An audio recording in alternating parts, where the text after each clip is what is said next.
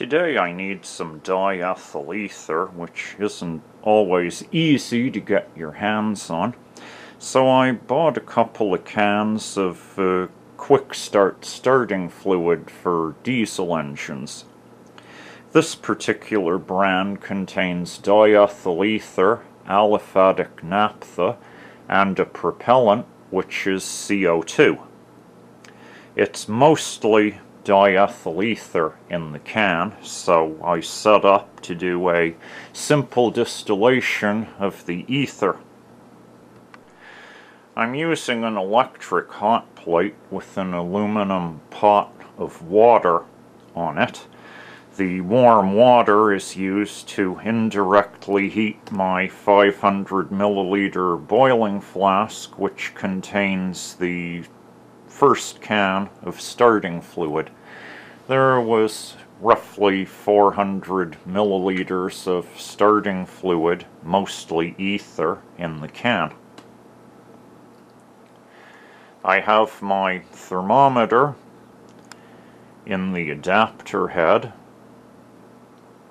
a simple condenser, and then I've set up a uh, round bottom collection flask that we can see the ether dripping into as it distills over.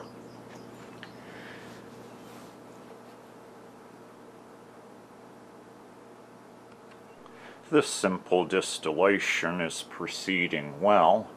Of course, ether boils at around 34.6 Celsius, and depending on what naphtha you have, it will only boil at between 160 to 220 Celsius.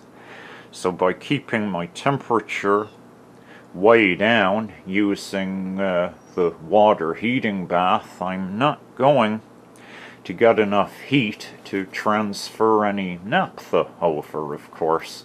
So I should be getting some decent diethyl ether, at least good enough that I can use it for uh, extraction of flower petals, which is what I'm intending to do with this ether as soon as I've collected uh, an amount in excess of 250 milliliters, which is the amount I need to run my Soxhlet apparatus.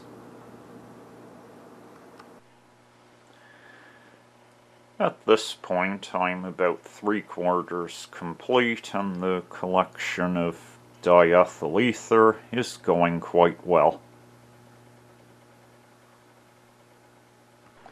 I should probably point out that this isn't being done at home.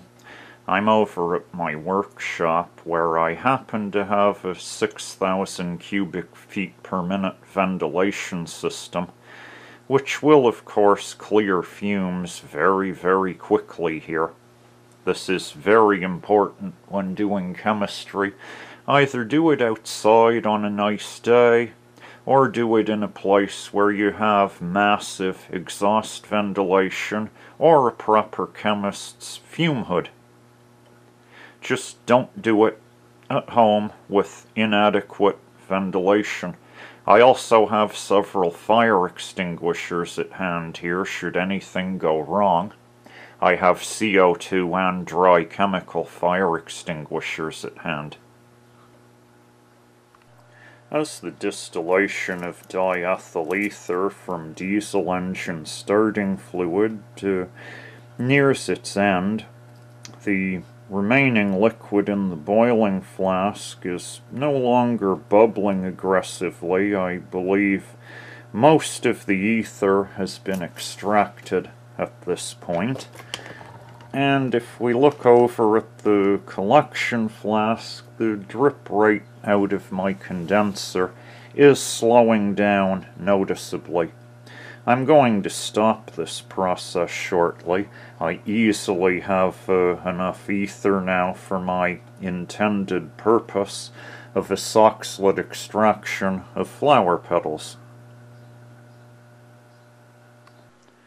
I've now turned off the heat source. Water flow is still running to the condenser and I'm allowing things to cool down as the process is now finished.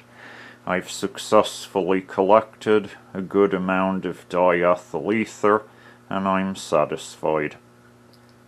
Thanks for watching and as always there'll be plenty more to come.